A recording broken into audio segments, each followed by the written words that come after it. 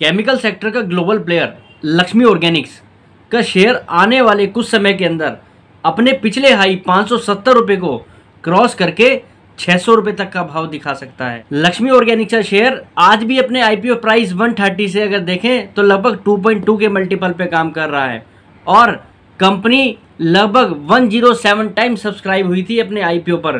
कहने का मतलब कंपनी एक स्ट्रॉन्ग फंडामेंटल वाली कंपनी थी, जो कि उसके आईपीओ के टाइम पर लोगों ने जिस तरीके से कंपनी को रेस्पॉन्स दिया और सच बात यह भी है, कुछ लोगों ने लक्ष्मी ऑर्गेनिक्स को हायर प्राइस पर लिया था, जिसके बाद सेक्टर के अंदर कुछ प्रॉब्लम्स भी आई और शेयर की पिटाई भी हुई। पर उन लोगों को अब बिल्कुल घबराने की ज़रूरत नहीं है, क्योंकि ये वीडियो उन्हीं लोगों के लिए है, जो इस शेयर में फंसे हुए हैं और साथ ही साथ जो लोग बाग अब केमिकल सेक्टर के अंदर पैसा लगाना चाह रहे हैं। क्योंकि लक्ष्मी ऑर्गेनिक्स का जो कैपेक्स प्लान है और जो मैनेजमेंट का टारगेट है, वो क्लियर कट ये बता रहा है कि अब जो है लक्ष्मी ऑर्गेनिक्स का वापस चलने का, तेज़ी में आने का समय आ चुका है। कंपनी के लिए कहीं ना कहीं बेस बनता हुआ दिखाई दे रहा है, जो कि उसके फिनेंशियल्स में क्लियर कट दिखाई दे रहा है। तो आज के इस वीडियो में मैं आपके साथ लक्ष्मी ऑर्गेनिक्स का डिटेल एनालिसिस करने जा रहा हूँ। लक्ष्मी ऑर्गेनिक का बिज़नेस बेसिकली दो डिवीज़न में बटा हुआ है। एक डिवीज़न में कंपनी एसिटल इंटरमीडिएट्स केमिकल्स बनाती है और दूसरी डिवीज़न में कंपनी स्पेशलिटी इंटरमीडिएट्स केमिकल्स बनाती है। एसिटल इंटरमीडिएट्स केमिकल की जो कंपनी की कैपेसिटी है, वो लगभग 232 किलो टन पर एनएम की है। साथ ही साथ इस सेगमेंट में के अंदर कंपनी भारत की नंबर वन कंपनी है और विश्व में नंबर तीन पर आती है, अगर चाइना से के बिज़नेस को हटाकर देखें। और साथ ही साथ अगर हम स्पेशलिटी केमिकल्स की बात करें तो कंपनी विश्व में टॉप फाइव कंपनियों में जानी जाती है। और कंपनी जिस तरीके के केमिकल्स बनाती है, उनका ज़्यादातर यूज़ अगर हम देखें तो फार्मा इंडस्ट्री के अंदर होता है। फार्मा इंडस्ट्री कंपनी के लिए बहुत बड़ी मार्केट है। वहाँ से कंपनी को लगभग चवालीस परसेंट रेवेन्यू आता है। एग्रो केमिकल इंडस्ट्री में भी कंपनी के प्रोडक्ट यूज़ होते हैं, जहाँ पर फोर्टीन परसेंट कंपनी को रेवेन्यू आता है। डाइज एंड पेंट्स सेक्टर के अंदर भी कंपनी के प्रोडक्ट्स यूज़ होते हैं। प्रिंटिंग एंड पैकेजिंग इंडस्ट्री भी कंपनी के लिए काफ़ी बड़ी इंडस्ट्री है, जहाँ पर कंपनी को लगभग 28 परसेंट का रेवेन्यू आता है।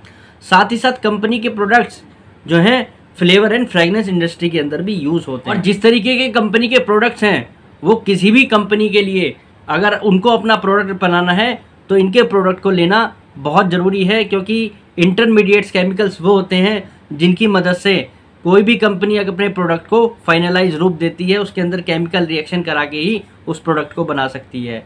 तो इस तरीके के जो केमिकल्स होते हैं, इनकी डिमांड बहुत ज़्यादा हाई होती है। इसमें ऑर्गेनिक की प्रजेंस भारत में तो है ही। साथ ही साथ विश्व में कंपनी का काम बहुत व्यापक स्तर पर फैला हुआ है। कंपनी के लिए यूरोप जैसी मार्केट काफ़ी बड़ी मार्केट है, जहाँ से कंपनी को एफ़ वाई ट्वेंटी थ्री के अंदर लगभग 55 परसेंट रेवेन्यू का हिस्सा आया है। अमेरिका जैसी मार्केट से कंपनी को 20 परसेंट रेवेन्यू का हिस्सा आता है। एशिया के अंदर कंपनी को 10 परसेंट का रेवेन्यू आया है। मिडल ईस्ट से कंपनी को 9 परसेंट का रेवेन्यू आया है और साथ ही साथ अफ्रीका के अंदर कंपनी की को 5 परसेंट रेवेन्यू आया है। मीन्स कंपनी की ग्लोबल प्रेजेंस काफ़ी अच्छी है। अगर पास्ट में आप जाकर देखें तो कंपनी ने बहुत अच्छी ग्रोथ अचीव की है। जिस ग्रोथ के अंदर अगर हम देखें तो कंपनी ने ऑर्गेनिक और इनऑर्गेनिक दोनों ही ग्रोथ पर फोकस किया है जिसके कारण ये कंपनी इतनी सेल्स को अपनी बढ़ा पाई है इतनी तेज़ी से। अगर हम देखें तो कंपनी ने इनऑर्गेनिक ग्रोथ के अंदर लगभग तीन बड़े बड़े एक्विजिशन किए हैं। 2010 में कंपनी ने क्लैरियंट केम, केमिकल नाम की कंपनी का अधिकरण किया था। 2019 के अंदर मिटेनी नाम की कंपनी ने एक कंपनी का एक्विजिशन किया था। और 2021 के अंदर येलो स्टोन नाम की कंपनी का कंपनी ने एक्विजिशन किया। तो कंपनी ने ऑर्गेनिक ग्रोथ के साथ साथ इनऑर्गेनिक ग्रोथ पर भी काफ़ी काम किया है। कंपनी लगभग दो परसेंट अपने स्पेशलिटी केमिकल का जो रेवेन्यू है, उसको आर एन डी एक्सपेंसिस पर रेगुलर बेसिस पे खर्च करती है, जिसके कारण कंपनी नए नए प्रोडक्ट डेवलप करती रहती है और उनको पाइपलाइन में लेकर चल रही है। कंपनी का मैनेजमेंट भी बड़ा वेल एक्सपीरियंस मैनेजमेंट है। कंपनी के अगर हम चेयरमैन की बात करें तो रवि गोइंका जी का लगभग तीस साल का एक्सपीरियंस है केमिकल इंडस्ट्री के अंदर। और वहीं अगर हम बात करते हैं कंपनी के एम डी एंड सी की तो वहाँ पर राजन वेंकटेश्वरा जी हैं। उनका भी 20 साल का एक्सपीरियंस है, लगभग बी जैसी कंपनी के साथ। तो कंपनी का मैनेजमेंट देखा जाए तो बहुत ज़्यादा वेल एक्सपीरियंस मैनेजमेंट जैसा मैंने आपको बताया कि कंपनी के लिए यूरोप एक बहुत बड़ी मार्केट है तो ये भी एक बहुत बड़ा कारण रहा है, जिसके कारण कंपनी के शेयर की इतनी पिटाई हुई है। कंपनी यूरोप को लेकर काफ़ी बड़ा अच्छा बिज़नेस करती थी। एफ़ वाई ट्वेंटी थ्री के अंदर भी कंपनी ने किया। और कोरोना के बाद जिस तरीके से आर्थिक मंदी विश्व में आई उसका सबसे ज़्यादा बैड इम्पैक्ट यूरोप और अमेरिका जैसी मार्केटों पे पड़ा। और एफ़ वाई ट्वेंटी थ्री के अंदर कंपनी का लगभग सेवेंटी एट परसेंट रेवेन्यू इन दोनों जगह से ही आ रहा था। तो ये कहीं ना कहीं इस कंपनी के लिए एक बहुत बड़ा चैलेंज बनकर सामने आया। पर कंपनी देखा जाए तो एफ़ वाई ट्वेंटी थ्री के अंदर भी लॉस में नहीं आई, पर कंपनी की सेल्स में थोड़ी डी ग्रोथ देखी गई। पर Q1 F Y twenty four कहीं ना कहीं ये बता रहा है कि अब कंपनी ने बेस बना लिया है जिस तरीके से कंपनी ने अपनी स्ट्रेटेजी को चेंज किया है जोग्राफिकल वाइज अगर हम देखें Q1 F Y twenty four के अंदर, अब कंपनी का यूरोप से रेवेन्यू 55 परसेंट से घटकर लगभग 30 परसेंट आ रहा है। कंपनी ने अमेरिका जैसी मार्केटों पर भी फोकस बढ़ाया है।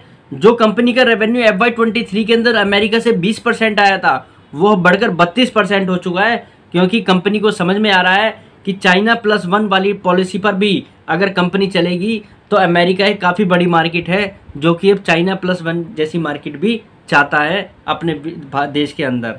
यही एशिया की बात करें तो कंपनी ने 10 परसेंट से अपने रेवेन्यू को बढ़ाकर 13 परसेंट किया है टोटल सेल्स का। अगर हम बात करें मिडिल ईस्ट की तो वहाँ पर भी कंपनी ने अपने बिज़नेस को 9 परसेंट से बढ़ाकर 13 परसेंट किया है। और अफ्रीका के अंदर भी कंपनी ने बड़ी तेज़ी से ग्रो किया अपना बिज़नेस पाँच परसेंट से बढ़ाकर लगभग ग्यारह परसेंट सेल्स का हिस्सा अफ्रीका जैसी मार्केट से आ रहा है। टेन क्लाइंट से उनका लगभग इकतालीस परसेंट हिस्सा था, जबकि Q1 one F Y twenty four के अंदर अब वो मात्र तीस परसेंट रह गया है, जो कि ये बता रहा है कि कंपनी अब जो है अपनी बुक को बड़ा डाइवर्सिफाइड कर रही है, ताकि अगर फ्यूचर में किसी भी तरीके का कोई शौक आए तो उसको कंपनी इजीली एब्जॉर्व कर सके। इसलिए कंपनी जोग्राफिकल प्रजेंस को भी चेंज कर रही है और साथ ही साथ क्लाइंट्स पर भी अपनी जो बुक है उसको डाइवर्सिफाइड कर रही है। और कंपनी का जो एआई बिज़नेस है, उसके अंदर कंपनी को लगभग 65 परसेंट रेवेन्यू आता है और 35 परसेंट रेवेन्यू कंपनी को स्पेशलिटी इंटरमीडिएट्स सेगमेंट से आता है। और जबकि स्पेशलिटी इंटरमीडिएट्स के अंदर अगर हम प्रॉफिट का देखें तो कंपनी को लगभग 70 परसेंट हिस्सा आता है और एसेटल इंटरमीडिएट्स के अंदर लगभग 35 परसेंट हिस्सा आता है, जो कि ये बताता है कि कंपनी का स्पेशलिटी इंटरमीडिएट्स पे फोकस होने का कारण ये है, क्योंकि कब कंपनी को उस पर मार्जिन ज़्यादा आता है, इस कारण से अब कंपनी उस सेगमेंट पे काफ़ी फोकस कर रही है। सेगमेंट्स के अंदर कंपनी काम कर रही है, अब इसके अंदर फ्यूचर ग्रोथ भी बड़ी अच्छी देखी जा रही है। बताया ये जा रहा है स्पेशलिटी इंटरमीडिएट्स का जो कारोबार है, वो अगर देखा जाए तो ग्लोबली लगभग 5.2 परसेंट के हिसाब से बढ़ने वाला है और अगर हम उसको डोमेस्टिक के हिसाब से देखें तो लगभग 10 परसेंट की ग्रोथ इस बिज़नेस में अब दिखाई दे रही है। यही अगर हम एसिटाइल मार्केट की बात करें तो वो भी लगभग 6 परसेंट के हिसाब से ग्रो होती हुई दिखाई दे रही है भारत के अंदर और विश्व के अंदर, जो कि ये बता रहा है कि कहीं ना कहीं इस कंपनी के लिए अब आगे आने वाला समय अच्छा है। और इसको बाज़ार ने कहीं ना कहीं आप देखें तो डिस्काउंट किया है और क्योंकि कंपनी का शेयर लगभग दो सौ से रिकवर हो गया, अब लगभग तीन सौ के आसपास आया है कहने का मतलब बाज़ार इन न्यूज़ को लेकर भी अब काफ़ी पॉजिटिव है। कंपनी का कैपेक्स प्लान की भी बात करें तो आने वाले समय में कंपनी का एक बड़ा अच्छा कैपेक्स प्लान है जो कि इस समय वर्क कर रहा है। आने वाले समय में कंपनी के पास प्रोडक्शन भी काफ़ी बढ़ने वाली है। कंपनी इस समय लगभग 1260 करोड़ रुपए का कैपेक्स करने में लगी हुई है, जिसके अंदर कंपनी लगभग अपने एक दहेज वाले जो प्लांट है, उसके अंदर बड़ा कैपेक्स कर रही है। और साथ ही साथ एक दूसरे प्लांट के अंदर भी कंपनी जो है अपनी कैपेसिटी को एक्सपेंड करके स्पेशलिटी केमिकल्स के अंदर एक बड़ा पोर्टफोलियो बनाने की ओर है। जिससे आने वाले समय के अंदर कंपनी को अपनी सेल्स को भी बढ़ाने में मदद मिलेगी, उस ग्रोथ को अचीव करने में मदद मिलेगी, साथ ही साथ प्रॉफिट को मेंटेन करने में भी कंपनी को काफ़ी मदद मिलने वाली है। यहीं अगर मैनेजमेंट की बात करें तो मैनेजमेंट भी काफ़ी एग्रेसिव होकर कंपनी के लिए ये बता रहा है कि आने वाले समय के अंदर अब कंपनी को जो है कंपनी अपनी आर e को रिटर्न ऑन कैपिटल एम्प्लॉयड को 20 परसेंट प्लस मेंटेन करके दिखाएगा। क्योंकि कंपनी ने पास्ट में ऐसा करके भी दिखाया है। और यही कारण था जिसके कारण कि F Y twenty one two के अंदर कंपनी के शेयर में इतनी बड़ी तेज़ी आई थी। लिस्ट होने के बाद और I P O one zero seven times subscribe हुआ था। अगर आप कंपनी की पिछले आठ साल की भी जर्नी देखें तो आपको पता लगेगा कि इस कंपनी की जर्नी बड़ी शानदार रही है। कंपनी ने मार्च 2015 के अंदर एक हज़ार चौहत्तर करोड़ रुपए की सेल दिखाकर उस पर नेट प्रॉफिट 21 करोड़ रुपए का बनाया था, जो कि एफ़ वाई के अंदर, फाइनेंशियल ईयर 2022 के अंदर लगभग तीन हज़ार अस्सी करोड़ की सेल में बदल जाता है और दो सौ सत्तावन करोड़ रुपए का प्रॉफिट होता है। और एफ़ वाई के अंदर कंपनी को थोड़ा डी ग्रोथ देखनी पड़ी थी जो मैंने कारण आपको बताया, जब भी कंपनी 2800 करोड़ रुपए के आसपास की सेल रिकॉर्ड करती है और 125 करोड़ रुपए का प्रॉफिट बनाती है तो इस कंपनी ने अगर देखा जाए तो बहुत अच्छी ग्रोथ की है अपनी सेल्स और प्रॉफिट में पिछले आठ सालों के अंदर।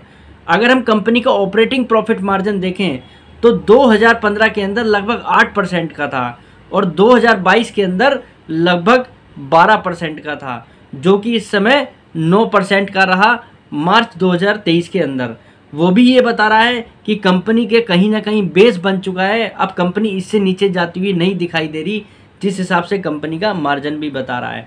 तो अब कहीं ना कहीं कंपनी का आगे मार्जिन भी यहाँ से सुधरने की उम्मीद है, वो भी डबल डिजिट में जाता हुआ दिखाई दे रहा है। और कंपनी अगर डेट टू इक्विटी के हिसाब से देखी जाए तो काफ़ी कंफर्टेबल पोजीशन पे है। कंपनी का डेट टू इक्विटी कैपेक्स के बाद भी लगभग ज़ीरो है, जो कि ये बता रहा है कि कंपनी इस समय कंफर्टेबली या कंफर्टेबल स्थिति में है। यहीं अगर हम बात करें कंपनी के शॉर्ट टर्म टारगेट के लिए तो ये कंपनी यहाँ से आपको लगभग 20 परसेंट का रिटर्न दे सकती है आने वाले छः सात महीने के अंदर। और अगर हम एक थोड़ा सा लॉन्ग टर्म पोर्टफोलियो के हिसाब से सोचकर और ब्रॉड व्यू लेकर इस कंपनी को सोचें तो ये कंपनी यहाँ से लगभग छः सौ रुपये का टारगेट दिखा सकती है। ऐसा कहने के पीछे मेरे पास एक बड़ा सॉलिड रीज़न है, वो है कंपनी की ग्रोथ 2015 के अंदर जिस तरीके से कंपनी ने अपनी सेल्स की जर्नी को आगे बढ़ाकर उसको तीन हज़ार अस्सी करोड़ के आसपास पहुँचाया था। दो 2022 के अंदर वो ये बता रहा है कि कंपनी ने अपनी सेल्स पर लगभग 35 परसेंट की ग्रोथ दिखाई है। और अब जिस तरीके से पॉजिटिव हेडविंड चल रहे हैं सेक्टर के लिए तो वो भी ये बता रहे हैं कि कंपनी अब अपनी पिछली ग्रोथ को अचीव करेगी कैपेक्स के दम पर। अगर हम मार्च 2023 की जो कंपनी की सेल्स है लगभग उनतीस करोड़ की, उस पर भी उठाकर देखें और कंपनी पिछले ग्रोथ को अचीव करे तो लगभग इकतालीस सौ करोड़ रुपए के आसपास की कंपनी सेल्स अचीव कर सकती है। जो कि ये बता रहा है कि मार्च 2022 के अंदर जब कंपनी को प्राइस टू सेल्स फोर का मल्टीपल बाज़ार दे रहा था इजीली कंपनी की परफॉर्मेंस पर, और कंपनी अगर वैसी ही परफॉर्मेंस वापस ले आती है, हिसाब से कंपनी की मार्केट कैप लगभग सोलह हज़ार करोड़ रुपए की होनी चाहिए, जो कि इस समय लगभग सात हज़ार नौ सौ करोड़ रुपए की है। तो ये कहीं ना कहीं सीधा सीधा ये बता रहा है कि कंपनी का शेयर प्राइस अब आने वाले डेढ़ दो सालों के अंदर यहाँ से सीधा सीधा आपको डबल दिखाई दे सकता है। वीडियो अच्छी लगे तो लाइक कर देना, चैनल को सब्सक्राइब कर लेना। नमस्कार।